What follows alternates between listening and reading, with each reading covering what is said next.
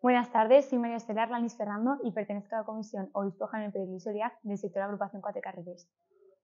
Enhorabuena por llegar a este, a este momento, por ser una de las elegidas. Muchísimas gracias. ¿Qué pasaría si el día 10 de octubre suena tu móvil, tu teléfono y suena la voz de la alcaldesa? Pues la verdad que no me lo he planteado mucho, ¿eh? porque solemos vivir al día y claro, yo no me imaginaba estar aquí. Eh, soñarlo, soñarlo muchísimo. No sé qué se me pasará por la cabeza en ese momento, pero seguro que lloraré de la emoción, estaré con mi familia, querré darles un abrazo y estaré disfrutando todo muchísimo. Sí. ¿Y en la qué sentiste cuando escuchaste tu nombre? Pues es una pregunta súper típica, pero que cuesta muchísimo responder porque realmente se te pasa todo y nada por la cabeza. Se te pasan muchísimas cosas, se te pasa tu familia, tu pareja, tu falla, tu, tu agrupación, ¿no? Pero realmente luego el, el, también estás pensando en no hacerlo, o sea, no, no, fastidiarla, ¿no? Salir bien y no equivocarte.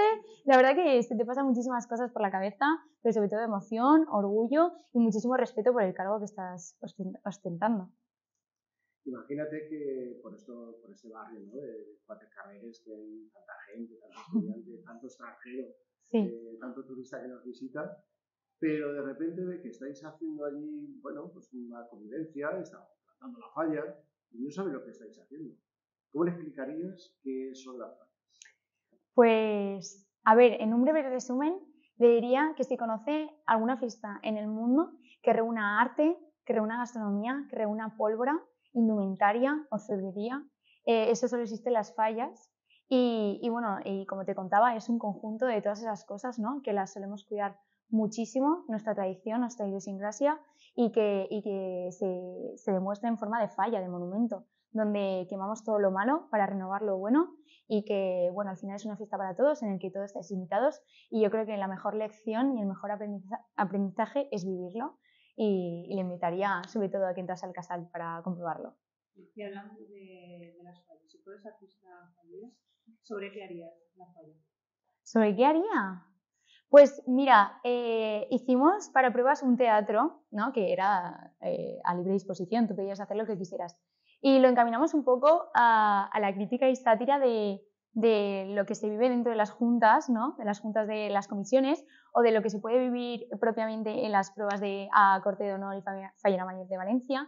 Y yo creo que lo encaminaría un poco a eso, a toda nuestra forma de ser en las comisiones, que hay muchísimo, la verdad que tenemos cada uno unas anécdotas increíbles que se pueden plasmar perfectamente en una falla y yo creo que lo encaminaría por ahí, sí.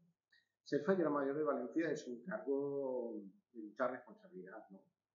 ¿Cómo te imaginas que tiene que ser ese cargo y cuáles serían esas cualidades que, debería de reunir ese cargo y que tú, a ver, el cargo requiere una responsabilidad enorme, pero también requiere muchísimas otras cosas, ¿no? Unas normas no escritas que la gente y los falleros buscan en, en, esa, en ese perfil.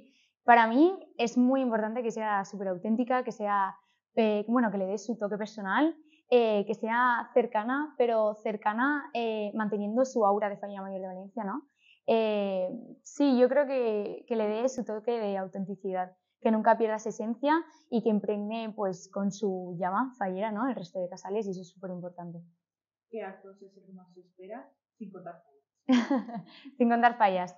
a ver, pues yo como fallera o como fallera mayor de mi comisión siempre he dicho que la ofrenda o la planta, eh, pero desde este punto de vista privilegiado, eh, pues la verdad que la crida y eh, la exaltación, evidentemente, cuando te ponen la banda que te acredita, ¿no? Como el cargo que tú eres. ¿Y esa crida cómo sería? ¿Cómo te la imaginas? a ver, es que yo la viví de pequeña porque yo fui corte de honor infantil en el 2011, entonces me puedo hacer una ligera idea. Sí que es verdad que ese año lo vives con la inocencia de una niña, ¿no? Y, bueno, ahora me muero de ganas por subirme ahí a, las Torres de Serrano. Eh, pero bueno, eh, si tuviese que hacer yo el discurso, me lo imagino imponente, ¿no? Eh, con muchísimo respeto, porque al final todo el mundo te está escuchando y tú das las palabras de bienvenida. Y las dedicaría un poco en unión, en unión y esfuerzo a, bueno, muchísimas cosas, la verdad, que se integren totalmente la gente que no es valenciana pero que se siente valenciana la fiesta, esfuerzo para, para proseguir ¿no? a los jóvenes para que perdure nuestra tradición. La verdad que bueno, es una cosa que no me, no me ha pasado por la cabeza, pero sí, lo miraría desde esa perspectiva. ¿Y tú qué crees que aportarías a la, a la corte?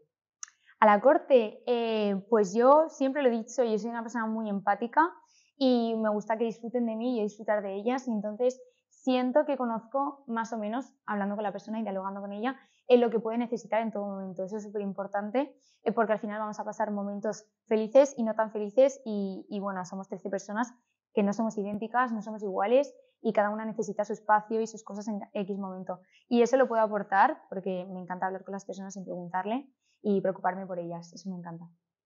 Te deseamos la mayor de las suertes, el mejor de los años, que sea fantástico. Muchísimas gracias. Una nueva que salga todo para Exacto, lo compartiremos, lo compartiremos. Y lo único que lo, último que te vamos a pedir es que nos mandes un mensaje a toda esa gente que va a estar viendo esta entrevista.